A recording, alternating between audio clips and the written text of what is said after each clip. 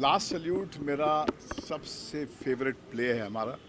ये हमने 10 साल पहले, नहीं 12 साल पहले ऑलमोस्ट किया था।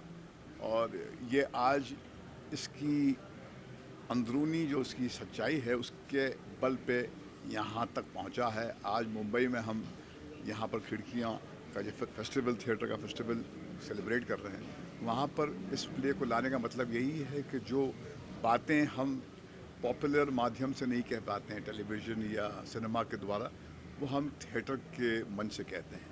और अरविंद गौर जी जो है, हमारे जो एक पीपल्स थिएटर से जुड़े हुए हैं, जो ग्रास रूट लेवल पे काम करते हैं, उनकी यूनिक स्ट्रेंथ ये है कि वो रैंक न्यू कमर्स के साथ में ऐसे जज्बातों को पेश करते हैं। और उसमें एक मासूमियत होती है। तो मैं जब भी अवसर मिलता है हम इस प्ले को लेके जाते हैं और इस प्ले की रूह को हम सलाम करते हैं।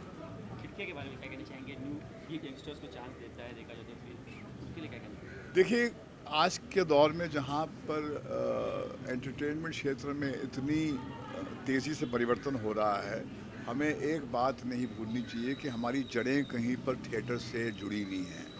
और थिएटर के ज़रिए हम अपने कलाकारों के अंदर वो एक डिसिप्लिन ला पाते हैं, जो शायद मेन स्ट्रीम सिनेमा में या टेलीविज़न के क्षेत्र में पॉपुलैरिटी हासिल करने के बाद में आप अफोर्ड नहीं कर सकते। इसलिए जितनी कोशिश हो हमारी, हमें अपने नौजवानों को थिएटर के रास्ते से ही मेन स्ट्रीम सिनेमा या टेलीविज़न के क्षेत्र में लाना चाहिए। आज यहाँ पे जो भी है ज़्यादातर यंगस्टर्स आ रहे हैं। इसके लिए क्या कहना चाहेंगे आपकी कहीं ना कहीं आप भी क्रेज़ है यंगस्टर्स में? यहाँ तक ये कहा जाता था कि यंगस्टर्स भूल से जा रहे हैं थिएटर को। तो इस पर क्या कहेगा नहीं मेरा मानना ये है कि हिंदुस्तान नौजवान मुल्क है और ये अपने आप में एक सबूत है यहाँ की पॉपुलैरिटी इतने लोग यहाँ पर आएँ कि वो मुख्तलफ़ प्लेटफॉर्म से जुड़ना चाहते हैं। टेलीविज़न हो सिनेमा हो डिजिटल कंटेंट हो थिएटर हो हर किस्म के प्लेटफॉर्म से हम अपनी बात पेश कर सकते हैं और ये एज ऑफ़ एंटरटेनमेंट इसलिए से कहते हैं। प्रोडक्शन नंबर वन की एक फ़िल्म आ रही है शायद आपकी सर अगर कुछ बता सकें तो थिएटर के माध्यम से हम जुड़े हुए हैं तो सिर्फ़ थिएटर की बात करेंगे। ओके अच्छा सर सड़क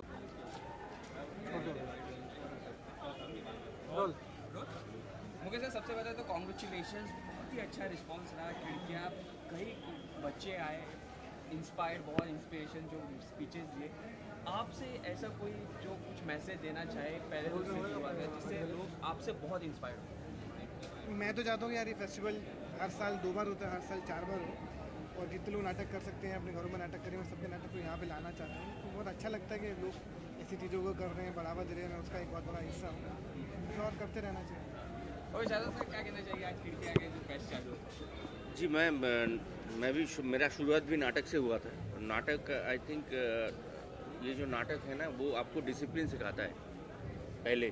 और ये हमारे इंडस्ट्री में किसी भी फ़ील्ड में या सिनेमा हो या थिएटर हो डिसिप्लिन होना बहुत ज़रूरी है। नहीं तो ज़्यादा दूर तक नहीं जा पाते लोग।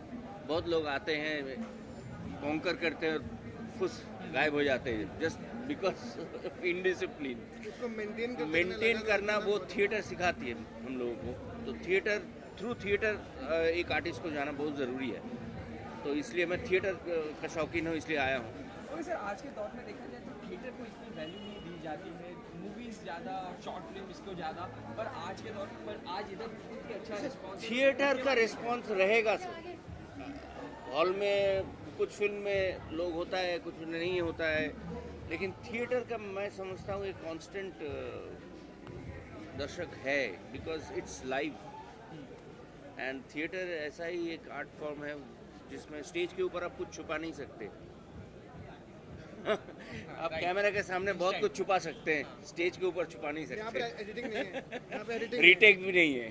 सर कहीं देखा जाए तो आज के आज के दौर में लोग बोलते हैं थिएटर भूल यहाँ पे देखा जाए तो नहीं, नहीं, नहीं, थिएटर कोई भूलेगा नहीं, थिएटर रहेगा। लाइन लगा के प्ले देखने के लिए। थिएटर रहेगा सर क्या कहना चाहिए उसके लिए? नहीं नहीं थिएटर रहेगा। किसी भी डिजिटल प्लेटफॉर्म में फ़िल्म का दर्शक दर्शक जो है वो डिजिटल प्लेटफॉर्म में चला जाता है। हाँ लेकिन थिएटर का दर्शक हॉल में आना पड़ेगा सर नहीं तो नहीं होगा। खत्म होगा नहीं खत्म नहीं होगा। पर हम लोगों को कोशिश करने हम लोग ना खत्म करें। हम लोग करते। रहना चाहिए कि इन लोगों तक पहुँचे। हम लोग खुद ही खत्म कर देंगे तो फिर आगे बढ़ेगा नहीं। ओके मुकेश सर आप दोनों बहुत ही जल्द एक प्रोजेक्ट में नज़र आने वाले हैं दिल बेचारा। तो उसके बारे में सर आप अपने मैं तो बहुत एक्साइटेड हूँ मुझे हाँ। अस्मिता के साथ काम करने का मौका मिला मैंने अमेजिंग एक्टर जब मैंने जब कहानी देखी थी तभी डिसाइड किया था कि जब फ़िल्म डिसाइड हुआ कि दिल बेचारा बन रही है और मुझे फादर की ज़रूरत है तो मैंने ये एक ही ऑप्शन दिमाग में रखा था कि अगर मेरी फ़िल्म कर ले तो मैं थैंक यू दादा आपने नहीं मेरी नहीं फ़िल्म करी है। थैंक्स क्या यार। Proud to be part of this project and that best debut तो लेने वाले हैं अवार्ड आप वही सवाल था कि डेब्यू मूवी है तो कितनी तैयारी की थी और कितने नर्वस थे? तय तो ऐसे सभी लोग करते हैं जब पहली फ़िल्म हो या पांचवी फ़िल्म हो तय तो आपकी लगातार करी रहती है। हाँ नर्वस ज़रूर होता हूँ नर्वस हूँ भी क्योंकि अब जो भी मैंने कर दिया जो बना दिया वो आप लोग रिएक्ट करेंगे। तो मैं रिएक्शन का वेट कर रहा हूँ आप लोगों की दुआओं का वेट कर रहा हूँ।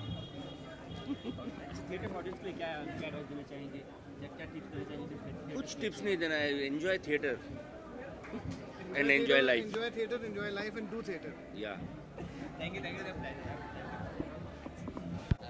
यू